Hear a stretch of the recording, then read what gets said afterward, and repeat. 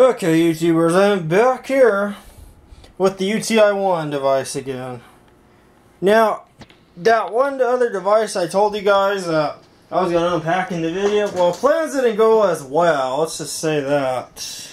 But, this is the UPAM device, really the Bogen TAM-B.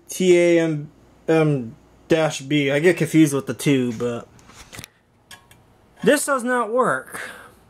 I've tried everything with this device. Even had a power. I have a. I had an appropriate power supply for it. It wouldn't page, so it's a bummer. I just got this yesterday, and I tried testing it and everything, and no luck, no page. All I get is a click every time I plug it in.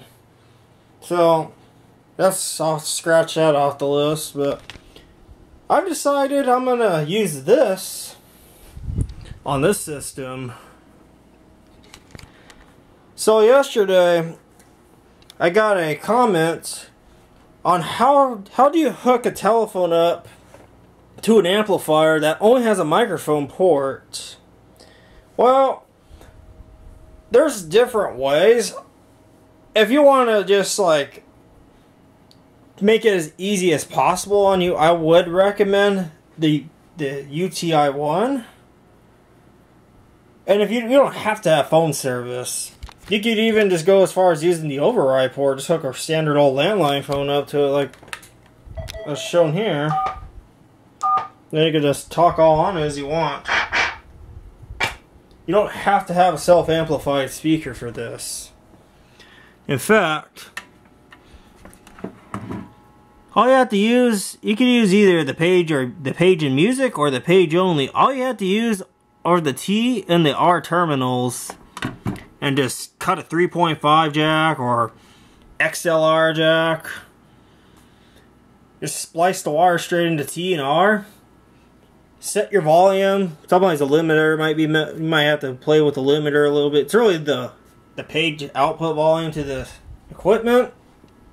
As in some ways, in fact, you can actually see that little LED flash. That's just the limiter. It limits how much power goes out to the equipment. You don't have to use the music.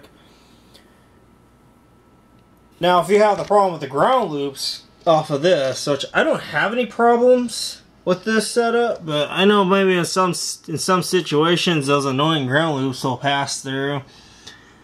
That's where you want to stick a ground loop isolator between between this line, because this is the audio line, between this and your equipment, which in this case it's a speaker, and it limit it it cuts out the ground loop. I don't know if that makes sense.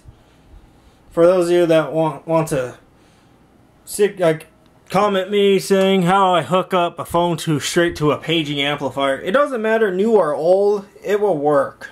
You just have to get a little creative with it.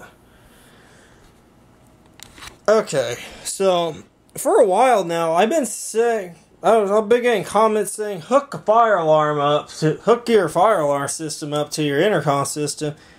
I'm not gonna necessarily full on do that, but I have another thing. I have another idea that in mind. Now, on this UTI one, there is a whoop tone that's that you could you know use on this I programmed the TN and the C to do the whoop tone. So now when I jam this wire in here,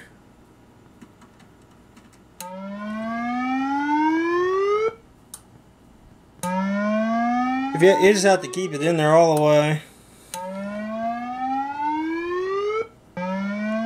It just plays over and over again when the circuit is closed. I'm going to be doing that with this intercom system. Not only just in here, but across the whole system. Now, the only unfortunate thing is, we're not going to get direct page from PB from the PBX anymore.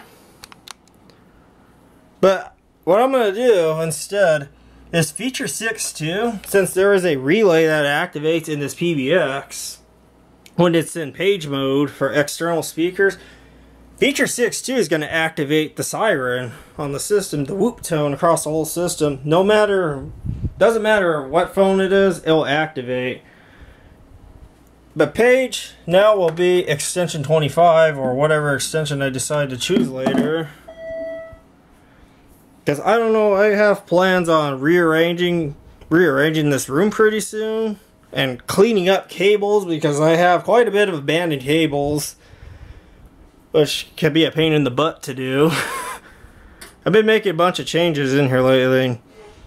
It only hung this hung up because it didn't detect any noise, didn't detect any audio level sudden changes from me speaking on the phone. That has a feature built in. So it's to go on this amp and it's to go on the other two. So even will affect the outdoor zone. So I hope you guys enjoyed this little clip. And the next time you see me with doing a, a full-blown intercom system update video, all of these speakers will be finally going on this device. Every single one. So stay tuned for more.